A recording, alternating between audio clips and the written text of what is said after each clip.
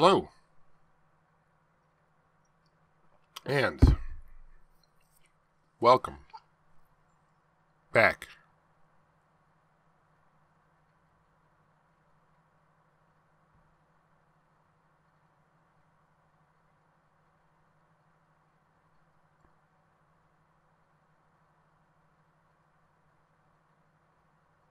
To Infinite Jeff, the project where I, Jeff, read the book Infinite Jest you one page at a time, one day at a time, put it up on the YouTubes for all to hear. Infinite Jest is a book by David Foster Wallace, a man who really liked Blue Velvet. So I agree with him. Blue Velvet is awesome.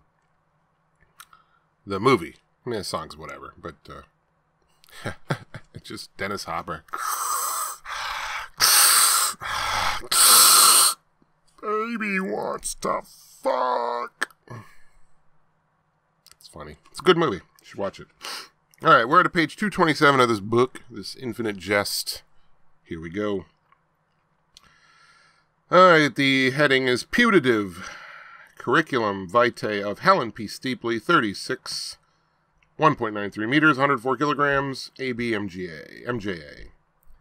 First year, time, graduate intern, newsmaker section. 16 months, Decade Magazine, hottest and nottest, a trends and style analysis column, until Decade folded. Five years, Southwest Annual, human interest, geriatric medical, personality and tourism articles.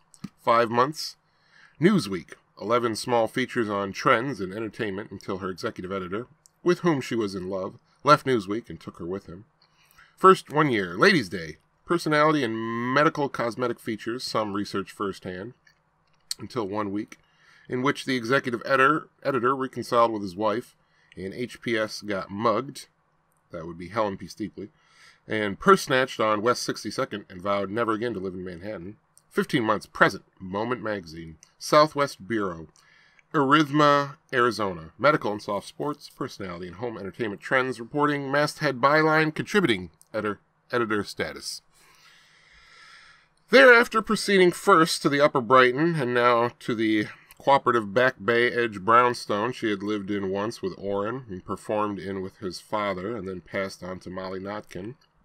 Today's party guest of honor and hostess in one, as of yesterday enjoying ABD pre-doctoral status in film and film cartridge theory at MIT, having cleared the notorious hurdle of oral examinations on that day by offering her examination committee a dramatically rendered and, if she did say so herself, devastating oral critique of post millennial Marxist film cartridge uh, theory from the point of view of Marx himself, Marx as pretend film cartridge theorist and scholar. Still dressed as Cam, Karl Marx, a day later in celebration, the glued beard matted and pubic black. Homburg ordered direct from Wiesbaden, soot from a terribly obscure British souvenir filth shop. She had no idea that Joelle's been in a cage since year uh, year YTSDB. What was that? The year of the. Uh,